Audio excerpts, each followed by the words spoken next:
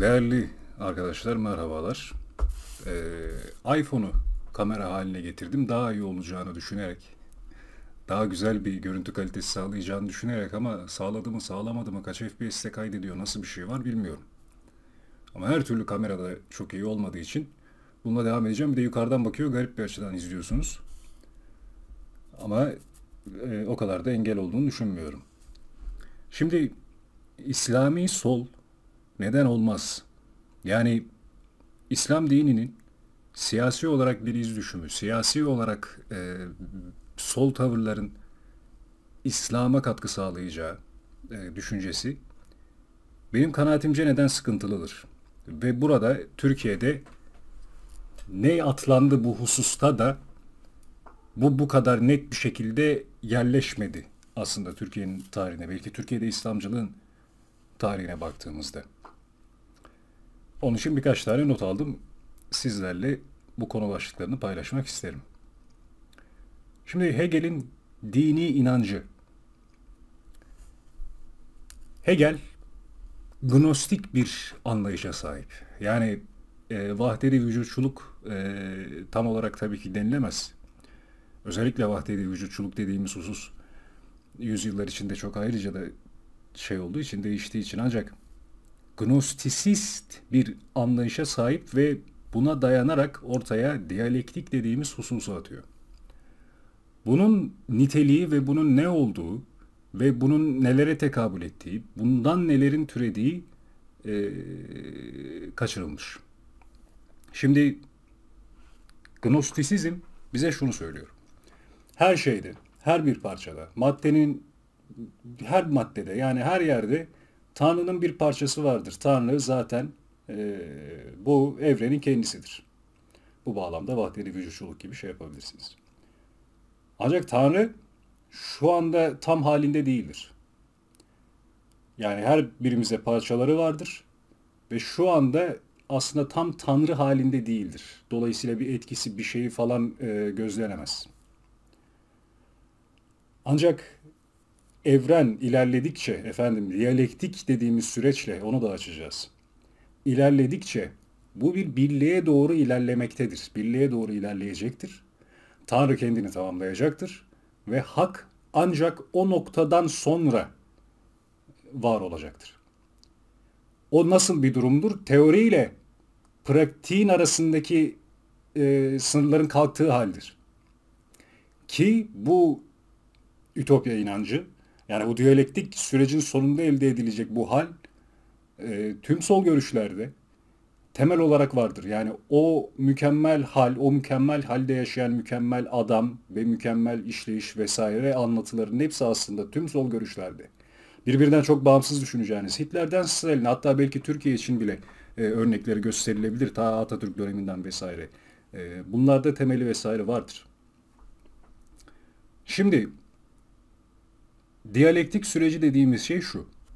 Tez, antitez ve sentez. Tez 2 artı 2 eşittir 4.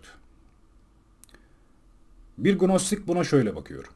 Efendim 2 artı 2 4'ün içerisinde hak olan vardır, Tanrı'ya ait vardır, bir olmayan vardır. Her şey için böyle. Antitez 2 artı 2 5. Bir gnostik buna böyle bakıyor. Efendim bunun içerisinde hak olan vardır. Efendim bunun içerisinde hak olmayan da tabii ki vardır. Sentez dediğimiz şey ne? Bunların içerisindeki o hak olan parçaları maksimize edecek ancak hak olmayan parçaları olabildiğince dışarıda e, tuta, tutacak şekilde bu iki fikriyatın tezin ve antitezin sentezlenmesi. Ve bu şekilde bu süreci ilerleterek çevremizdeki maddelerin hakkaniyetini, hakkını yani ıı, tabiri caizse içerisindeki tanrı oranını daha da yükselterek o mükemmel hale doğru gitmenin arzusu vardır. Yani bu bir inançtır. Bu bir dindir. Bu bir teolojidir. Ve bu her şeyden önce e, İslam mı kabul edebileceği zaten bir şey değildir. Şimdi Burada tabii söylenecek şey efendim Marx farklı, Hegel farklı. Materyalist bakış farklı, idealist bakış farklı. Bu ilk bahsettiğim kısmın belki benim kanaatimce o kadar fazla idrak edilmemesinden de öte daha da büyük bir hata.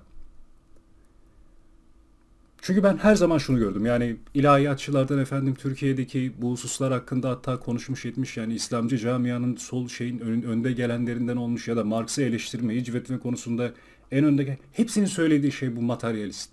Ben bilmiyorum yani tersine denk geldi mi şey yaptım mı? Tabii ki illaki belki vardır ama yani ben denk gelmedim şahsen. Yani bu görüşlerin materyalist olduğu, Marx'ın materyalist olduğu, dolayısıyla İslam'la sıkıntılı olduğu. Çünkü İslam materyalist değil, değil mi? Yani öyle bir öyle bir tasavvur var. Yani materyalist, maddeci, maddeden başka bir şeye bakmıyor. Ne Allah tanır, ne ruh tanır, ne cin tanır, ne bir şey tanır gibi bir bakışla Marksizme karşı çıkılıyor ve bunun faydalı olduğu zannediliyor. Bu batıdan gelen çarp, çarpık bir şeydir. Hristiyanlıktan gelen çarpık bir şeydir. Marksizmi biz ayrıca batıdan gelmeyecek bir eleştiriyle biz ayrıca bu hususta ben eleştirdiğimizi düşünmüyorum. Bunun sıkıntısını yaşıyoruz ki bu sıkıntıyı yaşayanlar yani Marksizme materyalist deyip bir kenara atanlar da çoğunlukla bu eleştiriyi yaparlar Batı'nın etkisine vesaire kalıyorsunuz diye. Halbuki e, siz de kalıyorsunuz. Yanlış bir şekilde. Şimdi Marx'ın materyalizm iddiası şuradan ortaya çıkar. Üretim araçlarına temellendirir ortaya koyduklarını. Üretim aracı nedir? Materyaldir değil mi? Dolayısıyla materyalizm ve materyal üzerinden kurulan ilişkiler. Üretim aracı nedir? Yani fabrikada bir makineyi düşünün. Marx düşünüyor ki bu bir üretim aracı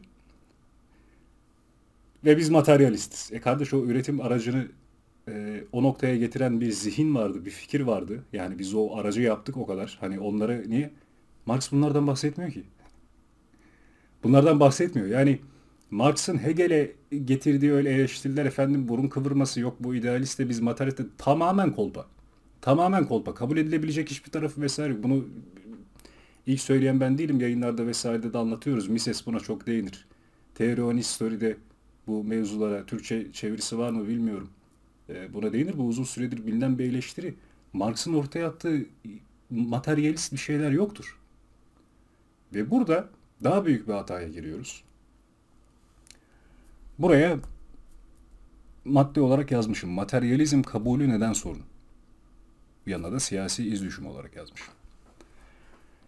Şimdi Marksizme materyalist olduğunu ve materyalist olduğu için örneğin İslam'la sıkıntısı olduğu vesaire söylendiğinde e, şu ortaya çıkıyor. Materyalizm materyalist bir süreç yönetilebilir. Ve bu materyalist süreç İslam'a faydası olabilecek bir süreç olarak algılanabilir. Bunda bir sıkıntı yok. Yani Müslüman olan bir insanın siyasi olarak materyalist kökeni olan Marksist fikirlerin etkisinde kalması veya bir sol bir mücadele yürütmesi illaki kötü olacak diye bir şey yok. Halbuki materyalist olduğu söylenmesi, e, gnostik bir inanç olan diyalektiğe dayanır na bağlansa biz çok net bir şekilde bileceğiz ki hayır bir Müslüman için, İslam'a inanan bir insan için bu bu siyasi bir şey değildir. Bu bildiğim bir inançtır. Bu bir dindir. Dolayısıyla bizde olmaması gerekiri söyleyebiliyor olmamız lazımdı. Ancak materyalist olduğunu söyleyerek, bunu kaçırarak ve bunun da aslında güzel bir eleştiri olduğunu düşünerek aslında buna sebebiyet vermiş olduk. Çünkü ben e, baktığımda bunu görüyorum. Söylenen şey e, bir sonraki maddede de onu not almışım. Bilinçsiz antitezler. Yani İslami sol dediğimiz hususu ben bilinçsiz antitezler olarak tabir ediyorum. Bu kimseler bilinçsiz antitez olmuşlar diyalektik inancı içerisinde. işin özü. Yani e, onlar düşünüyorlar ki efendim tam olarak anlamıyorlar. Efendim yani bu diyalektik süreç sonucunda ortaya konulan ne kadar farkındalar ne kadar değiller çoğunlukla değiller. E, hal zaten atıyorum şeriat halidir. Zaten en mükemmel olan halidir. Efendim bu diyalektiğin doğası gereği getirdiği yani 2 artı 2 eşittir 4'e bile karşı çıkmanın gerekliliği ve bu karşı çıkmanın meşru olduğu ve asıl ilerlemenin böyle sağlanacağı düşüncesi yüzünden ki tüm solun özeti budur.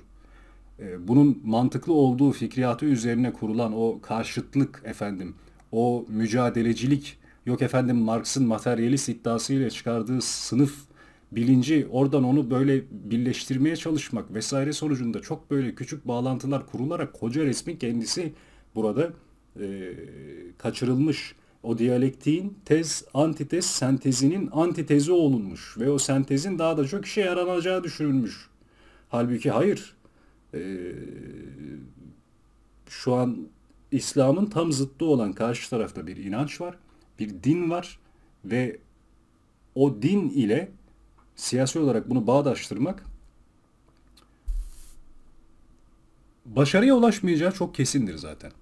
Çünkü önceki videolarda vesaire de söylüyoruz. Burada siyasi iz düşüm diye bahsettiğimizde onu da biraz açmak gerekir. Şimdi İslam dediğimiz şey e, bir ahlak yapısı oluşturan bir din, bir teoloji ayrı bir noktayken siyaseten, siyaset felsefesi hususundaki düşünceler farklı olabilir. Yani siyaset felsefesi noktasında bir adam ben materyalist olacağım, ben Marksist olacağım ve bu benim İslam'a e, İslam'a bence daha faydalıdır gibi bir iddia ile ortaya gelebilir. Bunu mesela iddia edebilir örneğin siyasi iz düşüm olarak. Yani ondan bahsediyorum. E, materyalist olduğu eleştirisi bu konuda yeterli değil ve bu pek çok sıkıntıya kanaatimce sebebiyet vermiş. Boşa harcanan zamanlara sebebiyet vermiş. Bir sonraki notta da İslami sağ neden olur? Yani İslami sol neden olmazın aksi olarak İslami sağ neden olur? Bunun aksine yani sol diye tabir edeceğimiz bu gnostik inancın, bu diyalektik düşüncesinin aksine sağ dediğimiz şey doğanın kendisini, iş oluşları incelemek ve anlamlandırmak üzerine e, ilerler. Sağ doğa diyerek bir nature tabiri koyup da o nature tabirini altını kendisi doldurmaya ve onu bir yöntem olarak değişilmeyecek bir şekilde kabul etmeye çalışmaz. Sol bir nature koyar. Mesela diyalektiktir. Nature diyalektik der. Doğal hal dediğimiz şey, doğal işleyiş dediğimiz şey, hak dediğimiz şey budur der. Tez, antitez ve sentez olacak. Bunun ilerlemesiyle biz hak olan şey yapacağız ve bu süreçte doğal işleyiştir der. Ve bunu değiştirmez. Yöntemini değiştirmez. Bilimin tam zıttıdır. Bilimin tam zıttıdır. Yani yöntemini değiştirmiyorsun. Şimdi sağ dediğimiz siyasi şeyde ise bunun aksi vardır. Doğa dediğimiz şeyi anlamaya, ona uygun çalışmaya, dolayısıyla aslında nedir efendim Newton'un Newton'ların vesaire bahsettiği, o dönem e, bilim insanlarının bahsettiği yani bilim dediğimiz şey, sağ siyaset dediğimiz şey Tanrı'yı aslında anlamaya, Allah'ı anlamaya, Allah'ın kanunlarını, Allah'ın koyduğu ve düzenlediği doğayı ve evreni anlamaya yönelik e, ona şirk koşmadan, onun yerine başka bir e, düzen koyucu yaratmaya çalışmadan, bozgunculuk yapmadan e, bunu anlamaya yönelik bir e, fikriyattır siyasette, sağ diyeceğimiz şey. Sağın dini olan ihtiyacı diye bundan sonra tabii ki bir not düşmüşüm. Bu bağlamda sağın zaten bir dine ihtiyacı vardır. Yani sağ fikriyat her şeyden önce solun elinde bir din var. Geliştirdikleri, yapmaya çalıştıkları, yalancı peygamberleri olmaya çalıştıkları. Ya bunu şöyle tasvir edebilirsiniz. Nasıl ki İbrahim'i dinler diyoruz değil mi? Semavi dinler. Ne bunlar? Efendim tevhid inancı var. Ortak olarak noktaları bunların tevhid inancı. Efendim Stalinizm deniyor, Marksizm deniyor, efendim farklı farklı şeyler deniyor, Troçkizm deniyor. Bunların hepsi diyalektik dediğimiz bu e, tevhid inancına sahiptir gibi düşünün. Yani aynı e, akımın farklı dinleridir. Bu din adamları da Marx, Marx bir yalancı peygamber olmaya çalışmış. Bunun üzerine e, bir dinini oluşturmaya çalışmış ve bunda materyalist olduğunu söylemiş. Halbuki tamamen her bir şeyle çökmüş, e, din adamı olmaya çalışmış bir adam. Solu böyle anladığımızda, solu böyle gördüğümüzde zaten farkına varacağımız şey bu ki sağ solun bu niteliğini anlamamıştır. Dolayısıyla sol sağa karşı bu kadar realiteyi, bu kadar doğayı, bu kadar gerçeği reddetmesine ve kafasından yazdığı hayali senaryoların bu realitede, bu doğada olmaya çalıştırmasına zorla ve bunun yani çok büyük e, rezaletlerle sonuçlanmasına rağmen hala varlığını sürdürebiliyor ve bir iki adım bazı yerlerde öne geçebiliyorsa sebebi budur. Sağ solun bu niteliğinin farkına varmamıştır. Sağın da o yüzden dine ihtiyacı vardır. Sağ da bugün fikirlerini temellendirdiğinde, ortaya attığında solun e, bu kendilerine kurdukları absürt, gerçekliği olmayan, saçma sapan bu inanç karşısında koyabilecekleri, kendi usullerine uygun e, olarak şey yapacakları bir inançları olmayacaksa, bunu tamamen temellendirmeyeceklerse eksik kalacaklardır. Ve solu da böyle, solun da bu niteliğini fark etmeyeceklerdir. Aslında ne kadar isteseler de solun bu fark ettikleri niteliklerine niteliklerine karşı konum almaya çalışsalar da beceremeyeceklerdir. Çünkü kendilerinde öyle bir konum yoktur. Öncelikle o konum sekmesini açmak gerekir.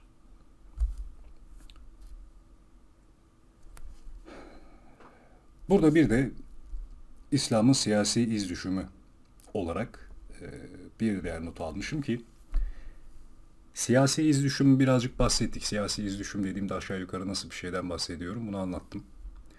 İslam'ın siyasi iz düşümü dediğimiz şey de sağda olacaktır. Nedir efendim? Şu an İslam'ın önündeki en büyük engel nedir? Modern devlet yapısıdır. Modern devlet yapısı siz ne kadar isterseniz isteyin her şeyden önce sizi mesela faize mecbur bırakır ben bunu söyleyip çok iddialı vesaire değilim. Fetva verecek halim yok. Benim şahsi kanaatimce söylüyorum. Bunu yanlış anlamayın. Fikrimi söylediğinde bazı insanlar da tabii karşı çıkıyor. Sonra üzerine şey yapıyoruz. Mesela Türkiye Darül Harp midir? Darül İslam mıdır? Benim kanaatimce Darül Harp'tir. Türkiye yani dünya üzerinde Darül Harp olmayan çok az yer vardır. Çünkü faiz zorunludur. Ne kadar isterseniz istersen iste şu anda faizden kaçabilme şansın yok. Çünkü Merkez Bankası'nın bir itibari parası var ve ondan başka para bastığın zaman da suçlu oluyorsun. Ve o parayı kullanmak zorundasın. Sen kendin bankadan şey çekmesen de o süreç içerisinde zaten bu faiz denen şeyin bir realitesi ortada var. Dolayısıyla en basit e, inancını bir Müslümanın temel olarak e, yerine getirmesine engel olan bir şey varsa o topraklarda benim kanaatimce oraya Darül İslam demenin çok bir anlamı kalmayacaktır. Ama tabii ki Darül İslam nedir, Darül Alp nedir? Farklı metodolojiler, farklı şeyler vardır. Onlara bakarak tabii ki e, pek çok yere Darül İslam da denilebilir, Darül Harp de denebilir. Ben aşağı yukarı böyle bakıp bu şekilde e, anlıyorum. Yani buna dile getirdiğimde de e, zaten burada neyden bahsetmeye çalışıyorum? İslam'ın şu anda veya İslam ve İslami bir yaşam önündeki en büyük engel zaten budur. Modern devlet yapısı dediğimiz şey ki sırf İslam'ın önünde de değil, insanların özgürlükleri önünde temel olarak zaten engeldir. Ki zaten bir insan Müslümansa bunların zaten çok birbirinden ayrı olmadığını zaten farkındadır.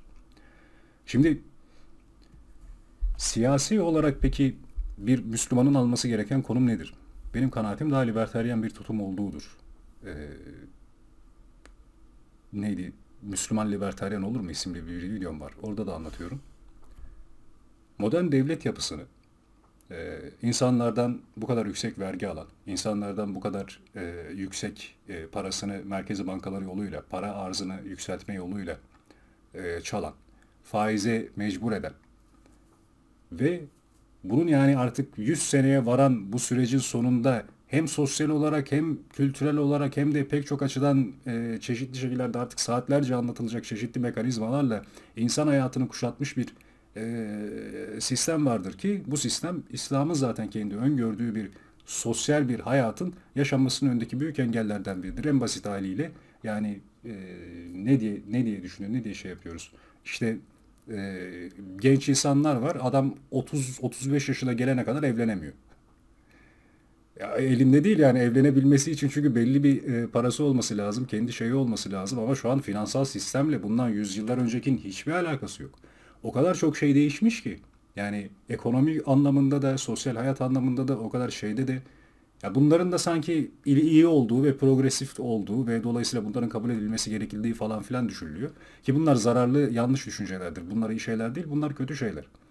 Bunun bir tespitini yapabilmek, o yüzden bunları ne, ne ortaya çıkardı ve İslam'ın öngördüğü şey ne ve o öngördüğü şeye diğer insanların e, ulaşmasının önündeki engel ne? Onların engellerini ortadan kaldırmaya çalışmamız lazım. Benim zaten temel kanaatim de budur. E, dolayısıyla siyaset dediğimiz şeyi de bunun bir aracı olarak görürüm. Ve ben siyaset aracında da e, İslam düşüncesinin de şu anki siyasetteki iz düşümünün modern devlet yapısının yetkisini olabildiğince kısıtlayacak, olabildiğince bu özgürlük alanlarını insanlara geri verecek ki insanlar gönüllü olarak mülkiyetlerine dayalı olarak bu tercihlerde bulunabilsinler ve bunun sonucunda ortaya çıkacak olan doğal düzene, hak düzene e, geri dönüş e, isteği olarak ben bunu görürüm. Ki bence olması gereken yani budur. Yani benim İslam e, fikrini anladığımda ve bunun bu modern siyasi e, arenada bir temsiliyeti olacaksa, bunun bir şeyi olacaksa bunun e, sağdan çıkması ve siyasi olarak da bir libertaryen tutum olarak e, yorumlanmasının neden doğru olduğunu, neden mantıklı olduğunu, neden öyle olması gerektiğini e, hakkındaki düşüncelerim aşağı yukarı böyle olmakla birlikte. E, burada da en son şuna da değinmek isterim.